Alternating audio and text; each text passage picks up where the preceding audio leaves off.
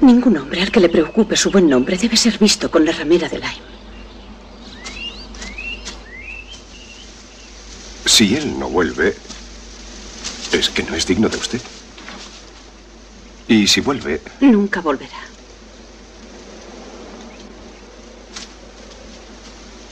¿Teme usted que no vuelva nunca? Sé que nunca volverá. Debe citarme aquí y a estas horas. No tenía otra persona a quien recurrir. Bien, creo que es obvio que sería de lo más inoportuno por mi parte seguir interesándome por su situación. Sí, es obvio. ¿Por qué no se marcha a Londres y empieza una nueva vida? Si me fuera a Londres, sé en qué me convertiría.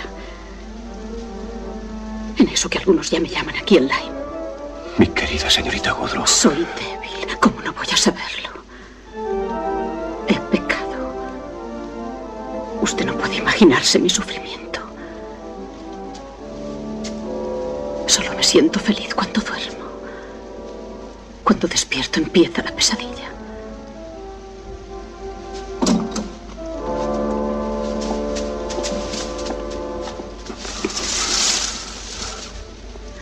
Esto es de lo más. Porque he nacido siendo lo que soy. No he podido nacer siendo la señorita Freeman. Esa es una pregunta que es mejor no hacer. No me refería. La envidia no es comprensible en su caso. No es envidia, sino incomprensión. Tiene usted que ayudarme. No está en mi mano ayudarla. No le creo. No puedo creerle.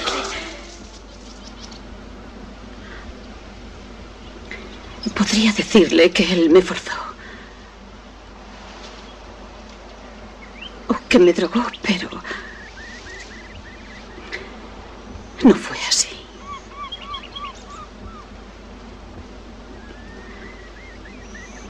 Yo me entregué voluntariamente.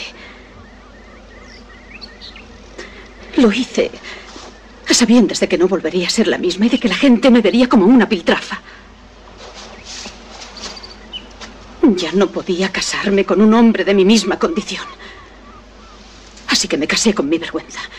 Y esa vergüenza es lo que me ha mantenido viva. El hecho de saber que no soy como las otras mujeres. Yo jamás podré ser como ellas. No tendré hijos, ni marido, ni los placeres de un hogar. A veces me dan lástima. Dispongo de una libertad que ellas no pueden comprender. Ningún insulto, ningún reproche hace mella en mí. No me importa nada, todo me tiene sin cuidado. Y es porque no soy nada. Soy siquiera un ser humano. Soy la ramera del teniente francés. Eso soy.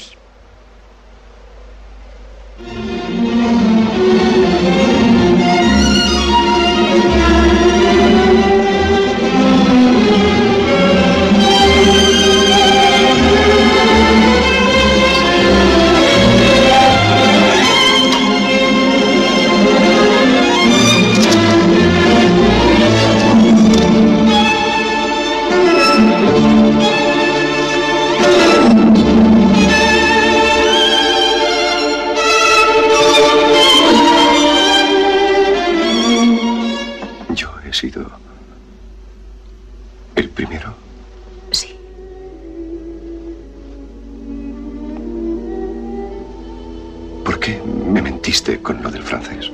No lo sé.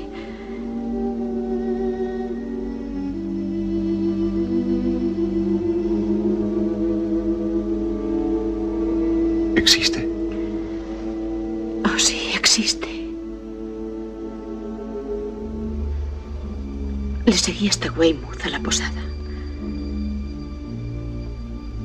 Al llegar le vi salir con una mujer. Clase de mujer con la que no hay equivocación. Cuando ellos se fueron, yo me marché. Pero entonces... ¿Por qué me dijiste? No lo sé.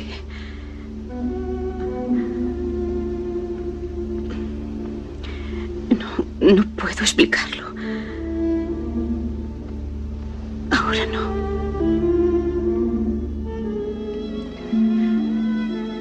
Haz lo que quieras o lo que debas. Ahora sé que hubo un día en que verdaderamente me amaste. Puedo soportarlo todo.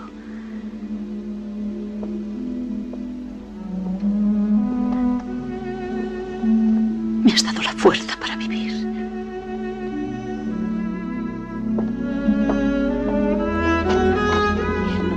Entonces no solo ha arruinado usted mi vida, sino que ha disfrutado haciéndolo. Usted me juzga mal. He tardado todo este tiempo en hallar mi propia vida. He tardado todo este tiempo en hallar mi libertad. ¿Libertad? Sí, Para mofarse del amor y de todos los sentimientos humanos. ¿Es eso todo lo que Exeter significó para usted? ¿Una breve transacción de la carne? ¿Solo eso? Me ha clavado usted una daga y cree que su maldita libertad la autoriza a removerla dentro de mi corazón. no. ¡Sí!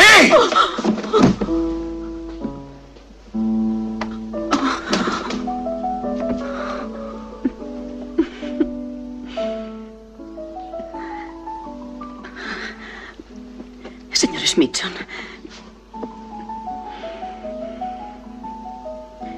Le he hecho venir aquí para pedir su perdón.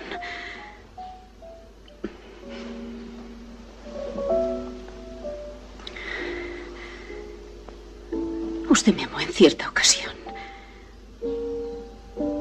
Y si aún me ama, puede perdonarme. Sí, sé que está en su perfecto derecho de maldecirme.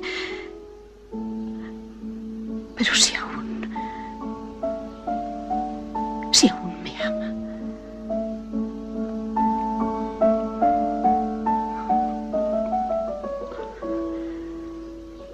Debo perdonarla.